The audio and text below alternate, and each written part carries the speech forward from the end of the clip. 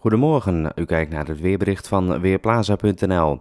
Vanochtend trekken er nog een paar buien over het land, maar geleidelijk gaan die naar het oosten wegtrekken en dan blijft het op de meeste plaatsen droog in de middag. Daarbij schijnt ook van tijd tot tijd de zon en het wordt zo'n 20 tot 21 graden.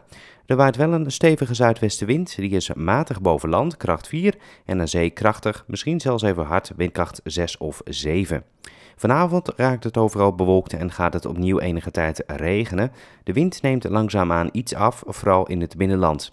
Het koelt af tot een graad of 18. Morgen ziet het weerbeeld er wat vriendelijker uit dan vandaag. Er is vaker ruimte voor de zon en het wordt zo'n 21 tot plaatselijk 26 graden.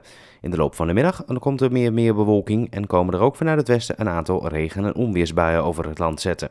Nog steeds waait er een stevige zuidwestenwind. Op donderdag is het grotendeels bewolkt en valt er flink wat regen, met name in het midden en zuidoosten van het land, bij een graad of 20 als hooguit maximum. Vrijdag en zaterdag wordt het geleidelijk aan weer iets droger. De middagtemperatuur boekt iets winst. Ik ben Ben Langkamp van Weerplaza.nl